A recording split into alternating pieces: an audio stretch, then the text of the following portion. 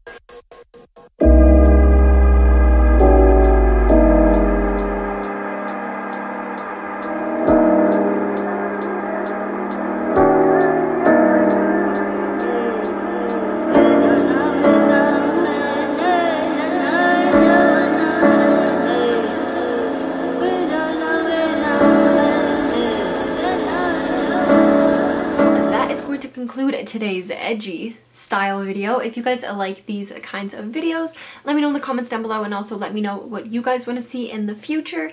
And like I said before, like, comment, and subscribe, and I will see you guys in my next video. Thanks so much for watching.